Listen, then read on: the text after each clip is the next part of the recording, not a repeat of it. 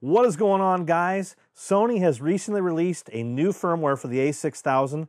I'm going to talk about those new features and show you how to upgrade that firmware coming up right after this.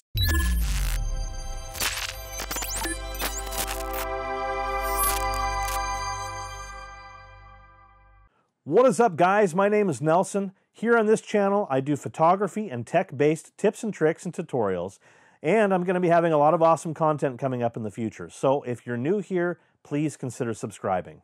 So two weeks ago, Sony released version 3.21 for the a6000. Now, the only listed feature is the improvement in the autofocus performance, but a lot of users have been reporting faster startup times. So I'm going to do a before and after to see if the startup time is improved, and I'm going to show you guys how to upgrade that firmware right now. All right, the first thing we're going to have to do is set the camera's USB mode to mass storage. To do that, go ahead and hit Menu, Go all the way over to the last tab across the top and hit down one and scroll to page four. And on USB connection, go ahead and select that and scroll down to mass storage and hit OK. All right, so there's a couple of things that you need to do before you do the firmware upgrade. First and foremost, you're going to want to have a fully charged battery. If you're using a vertical grip, remove the vertical grip and insert the battery directly into the body of the camera. Also, if possible, use the USB cable that came with the camera. Now, I'm doing this tutorial on a Windows PC, so on Windows, you're going to want to make sure to disable any unnecessary running programs in the background. Also, it is imperative that the computer not go to sleep during this process, so turn off the auto sleep feature on Windows. Alright, so the first thing you're going to do is fire up your web browser. In a Google search, go ahead and select Sony a6000 firmware. On top, you'll see support for ILCE A6000. Go ahead and click that. All right, so once you're on this page, go ahead and scroll down. You'll notice right here ILCE 6000 firmware, version 3.21 for Windows. Go ahead and click this link and click download. Scroll to the bottom and accept the user license agreement and click download.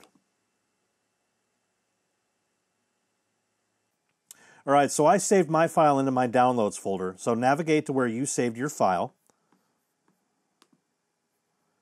and double click the update ILCE 6000 version 3.21.exe.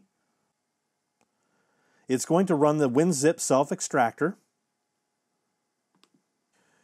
All right, so on the left side of the camera, there's a little door here. It's labeled HDMI and multi. Go ahead and open this flap. Now you're going to want to stick the USB cable into the top where it says multi. Once the firmware updater program has fully loaded, go ahead and connect the other end of the USB cable directly into your computer.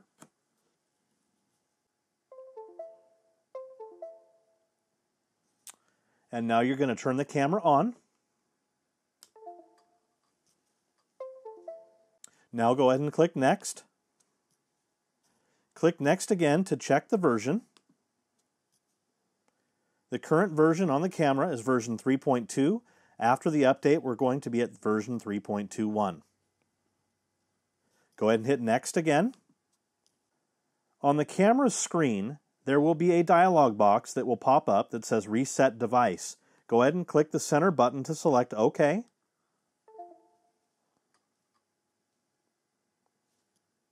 And click the next button on the computer.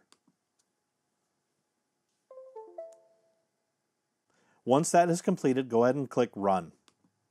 At this point, I want to mention again, it is absolutely imperative that you do not touch the computer or the camera during this process. The process can take several minutes, and it may seem at certain points that it is not operating properly, but I assure you that it is. All right, so the update finished, and the camera automatically rebooted.